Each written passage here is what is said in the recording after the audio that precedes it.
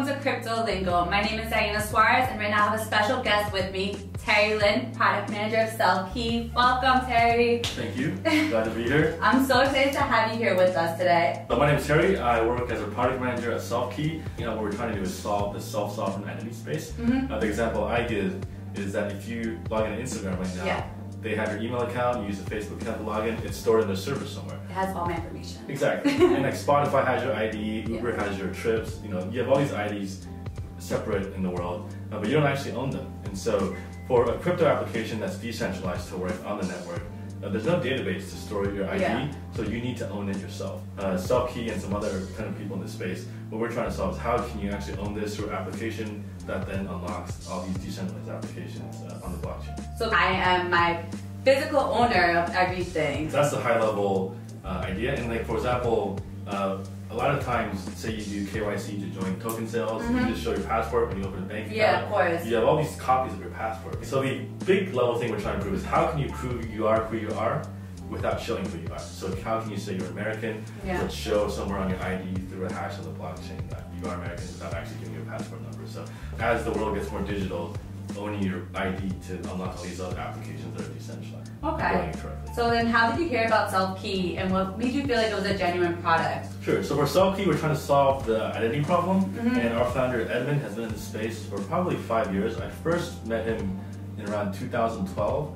Uh, he was doing incorporations, opening bank accounts, uh, overseas bank accounts, things like that, residencies, getting Mhm. a second passport. So he's been doing this KYC stuff for a while. And he was com- my company secretary uh, for my LLC when I had my own business. Uh, I was working in physical products before, and then we just kind of kept in touch. And then uh, I found out he was working on blockchain stuff three months ago, and then we just got in touch. He was like, "Hey, I need a product guy," and then that's kind of started. He knows what is needed from a practical level, Yeah. but then now we're trying to figure out implementing this on the blockchain and like tying this new technology.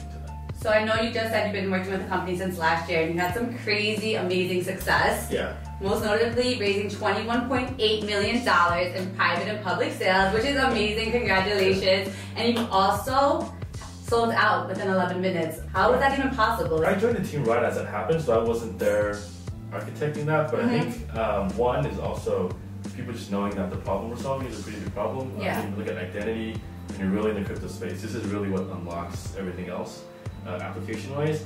Uh, and I think the way we're approaching it, because Edmund has been in the space for so long, that you know working with notaries, third party documentation, verification, things like that. He knows how this works offline. Yeah. And he's just porting it online, so it's not it's basic reality for a lot of stuff we're trying to do and problems that we're trying to solve. What's your favorite product off the SelfKey?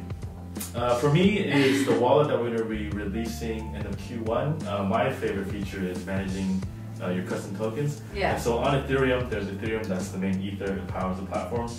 If you have like 10 coins, managing this these assets is very hard. If you're Mhm. trying to send and receive it, sometimes you buy an exchange, sometimes you buy it through a token sale. Yeah. And so our wallet, you can basically store it on the wallet, but our wallet also pulls the latest price from different APIs like CoinMarketCap. Because right now, if you store it somewhere, you know you have a thousand coins. Yeah. every time you want to see the price, you need to load some website, load your app. But our app could just automatically update this. So that basically the wallet just keeps you organized and then you know Yeah. what coin and what how much it's worth and just what you have in your Yeah. account. Instead of like knowing you have a thousand coins, but then opening the website and refreshing it every hour. So that's where we're starting out, and then we're also partnering with exchanges in the marketplace to mm-hmm. help them do KYC. So our wallet can do two things right now: is basically build an ID profile. So like you have a copy of your passport, you do a selfie, you enter your birthday, all this stuff. You can save it locally in your wallet, Yeah. and then when you apply for like say a bank account or an exchange account, you can just like send it, and then That's Just send them insane. I need this wallet. Right. I need to like download this SelfKey Yeah. app. You guys have an app going on Yeah, it's coming out in soon? the Q1.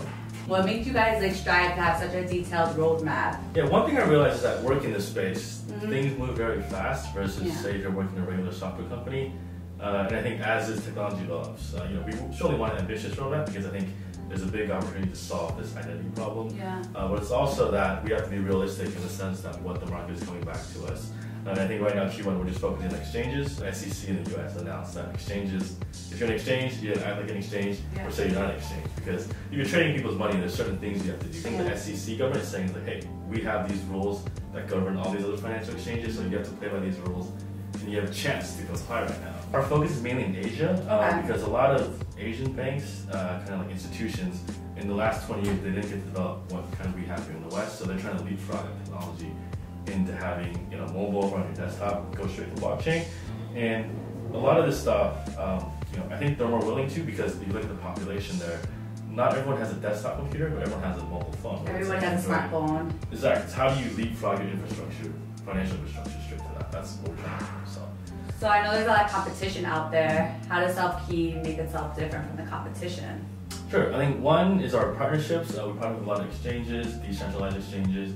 Uh, we get a lot of business development calls to Okay. help them power their KYC because, like I said, the government's clamping down and they need you to collect. You know, if you register on an exchange, you need to prove who you are. Someone to identify myself. But, So but, but if you're an exchange, how are you going to collect all this information in an easy way? Especially if you have 100,000 people signing up every month. It becomes a very big burden to hassle. And Mhm. how do you save this information? Do you really want everyone's passports sitting on a server somewhere? The idea is how do we figure that out with these exchanges?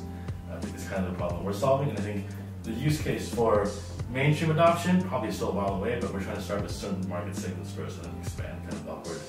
Okay. So early adopters, exchanges, and kind of corporate, and want to just play fair all the time, but Exactly. you also need to figure out a new way to work. Right, and especially when it comes to like identity, government stuff, all these jurisdictions have their own ways of doing that. So Mhm. it's like, how do you figure that out um, as the world gets more global and everything? Because right now you can send an email to anyone in the world. Exactly, because we're so just one click away. You can talk to anybody you want to talk Right. to, and it's so easy off my smartphone. Right. Even if I don't have a desktop computer, like you said, but off my smartphone I can do anything. Right, and the problem right now is how do you send them value? How do you send them ten dollars? That's in a different currency that can do it within A minute. A minute. I mean, you can do that with crypto, but right now the legacy system of finance fiat currency. No, it's more like you have to wait three business days, and you have to do Exactly. this, and you have to do that. Even if. I ACH you money from Bank of America to your Chase, it takes like two days. Yeah, exactly. It takes about like business days instead of Right. you cryptocurrency you can be like right away. Right, exactly. And I think that's probably like the next evolution of money because you know you have the internet that has information. I can send you information, Yeah. but how do I send you value? And it's crazy. I feel like this is gonna turn into the future. Like I hope so too. And it's exciting because you see it. It's like technology, law, Mhm. business, finance, history, politics, geography, like all these different things Yeah. that are like tangent to this. But you know, like how do you how's this gonna evolve? Like, you, know, you look at when Bitcoin was made. It was Mhm. 2009, right after the financial crisis. Yeah. So there's, I think, especially the younger generation that grew up from that. Maybe they've seen friends lose their homes and something like that. So. I think there's a certain like kind of like libertarian view to that, all that stuff, and I think the excitement that you can decentralize everything because money. Like I said, it was like a function of power. Right? You have to pay the IRS taxes. Mhm. They can take your tax, change the Federal Reserve, put tariffs on countries. They can build planes, they can build missiles, things like that. So when you look at money as a whole like that, and when you take that power away, Yeah. it scares a lot of people, Yeah, but it also makes a lot of people excited because then you can be like, hey, free from the government, all this stuff. But then it depends on your political to pay view. your taxes.